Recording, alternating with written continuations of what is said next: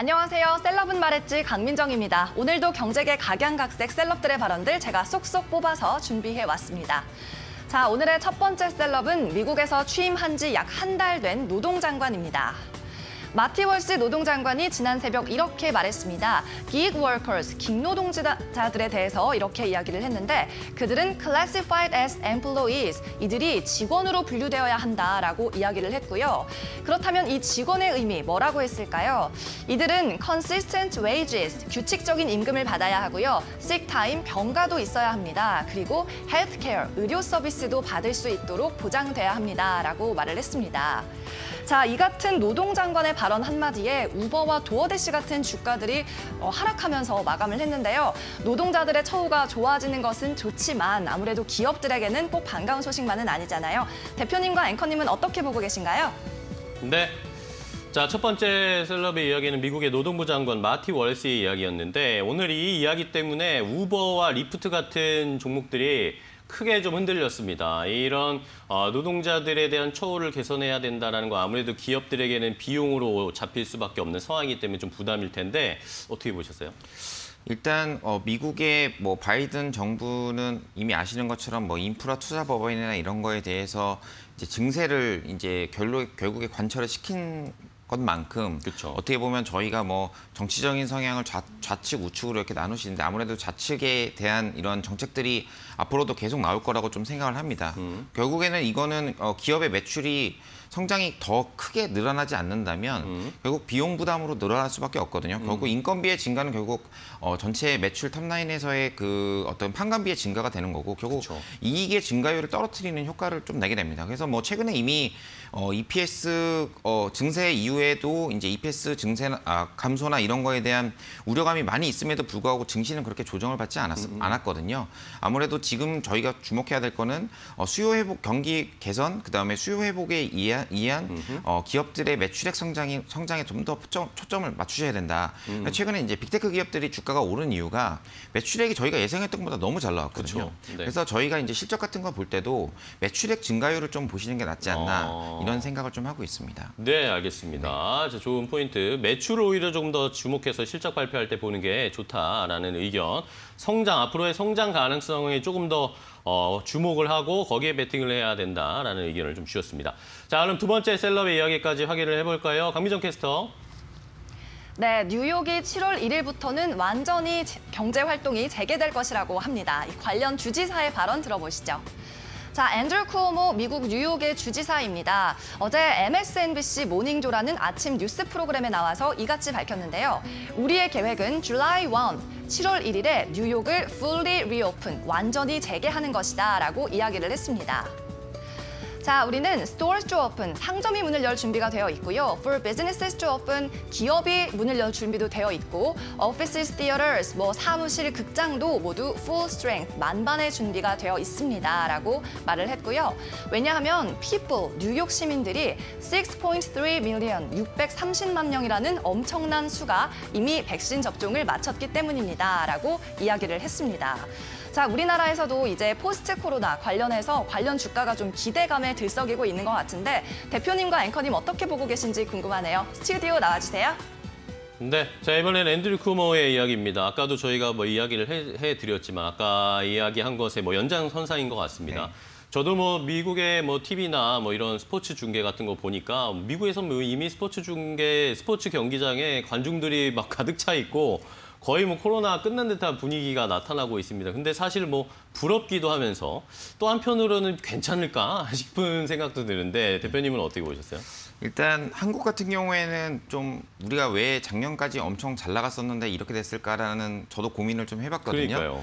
어, 작년에 저희가 너무 이제 코로나에 대한 대처를 잘하면서 글로벌로 중국 어, 중국과 함께 한국이 굉장히 주목을 많이 음. 받았고 경기 개선도 작년에 굉장히 빨리 나왔습니다. 그러니까요. 근데 올해를 보면은 완전 작년하고 또 반대거든요. 반대가 됐어요. 작년에 안 좋았던 미국하고 유, 럽이 어, 올해는 굉장히 좋고 중시도 굉장히 좋습니다. 음. 오히려 어, 최근에 중국 투자하시는 분도 아시겠 지만 어, 중국하고 한국이 대형주들이 굉장히 부진하거든요. 그러니까요. 결국에는 이게 어, 어떻게 보면은 백신의 접종 확대나 이런 거에 따른 어, 저희가 어느 정도 한국이 대응이 늦은 거에 대한 어, 부분이 좀 있는 거고요.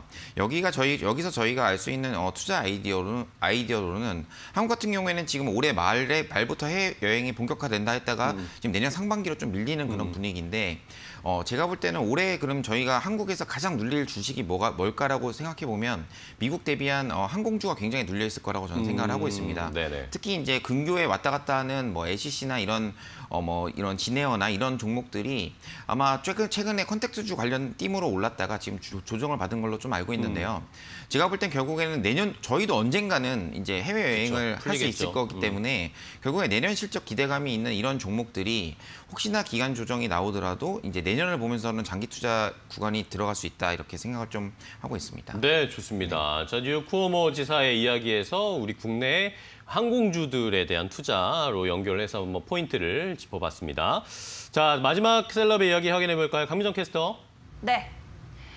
마지막 셀럽은 말했지입니다. 요즘 좋기만 한 주식과 암호화폐. 하지만 이번에는 폭락 전망이 나왔는데요. 함께 확인해 보겠습니다. 네, 게리 실링 경제학자, 전설적인 경제학자죠. 현지 시간 지난 27일에 리얼비전과의 인터뷰를 가졌습니다.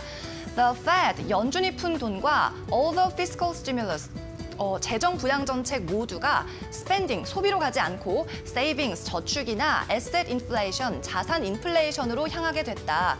이 때문에 도지코인이나 비트코인 같은 다른 암호화폐들 투기가 시작이 된 것이다 라고 말을 했습니다. 또 다음 문장도 보실게요. 자, 이것들이 it pushed stocks, 주가를 밀어 올렸습니다. to unbelievable highs, 말도 안 되는 가격까지 어, 끌어올렸고 earnings, 실적과도 다르게 움직이고 있습니다. 라면서 overprice, 전부 과한 가격이다 라고 이야기를 했습니다. 그러면서 이들은 fundamentals, 펀더멘탈이라는 영역에서 벗어나서 거래되고 있다라고 이야기를 하네요. 이 게리 실링 회장은 대표적인 비관론자여서 작년에도 우리 시장이 폭락할 것이다 라는 말을 하기도 했었는데요. 그럼 이 발언에 대한 평가는 스튜디오로 다시 넘겨드리면서 저는 여기서 물러가겠습니다. 저는 다음 주 월요일에도 셀럽은 말했지로 찾아올게요. 네, 강민정 캐스터 수고하셨습니다. 마지막 이야기는 뭐 가상화폐 이야기입니다. 가상화폐가 뭐 들끓고 있는데 뭐 더 간다는 사람들도 있고 이제 폭락할 거다라는 사람들도 있습니다. 대표님은 어떻게 보세요? 뭐 저는 그렇게 뭐 아주 부정적이지도 않고 아주 긍정적이지도 않다고 네. 생각합니다. 뭐 일단 비트코인이 오른 이유는 뭐 이미 아시겠지만 여러 가지 미국의 어떤 그 비트코인 거래량이 2018년도만 하더라도 미국 비중이 10% 미만이었거든요. 그쵸. 한국이 80%였습니다. 그렇습니다. 근데 이제 지금은 비트코인의 거래량의 대부분 8, 90%가 다 미국에서 일어나고 있고 어. 결국 헤게모니가 미국으로 갔기 때문에 저는 비- 비트코인이 올랐다고 일단 첫 번째 이유를 그렇게 생각하고요. 네. 두 번째는 비트코인 오른 거에 대해서 그렇게 부정적으로 생각하지 않는 게 모든 자산이 다 올랐습니다. 음. 그쵸. 음. 부동산 올랐죠. 저희 주식 올랐죠. 뭐 여러 가지 어, 자산들이 다 올랐는데 비트코인만 왜 떨어져야 되느냐라는 질문을 해보면 어, 지금 제가 볼 때는 유동성의 끝자락이 아니라면 어, 비트코인이 추세적으로 계속 하락하진 않, 않을 것이다 라고 어. 생각을 좀 하고 있습니다. 다만 어, 저희가 모든 투자는 좀 어, 이렇게 생각을 좀 하고 있습니다. 남들이 모를 때 사서 남들이 흥분할 때 파는 어, 그쵸. 국내 주식도 어, 소문에 사서 뉴스에 팔아라라는 네. 얘기가 있는데 지금은 이제 어느 정도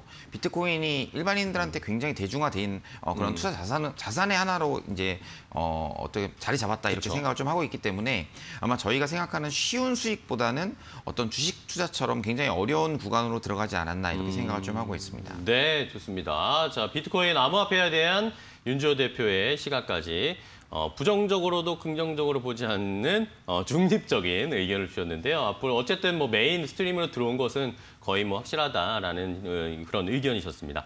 자, 이렇게 그 윤주호 대표 오늘 셀럽은 말했지 그리고 왓츠업까지 확인을 해봤습니다. 오늘 윤주호 대표님과는 계속해서 오늘 저희 방송 계속 이어주실 겁니다. 잠시 후에 오늘 기대해도 괜찮아도 함께 계속 이어가겠습니다. 잠시만 기다려주세요. 네.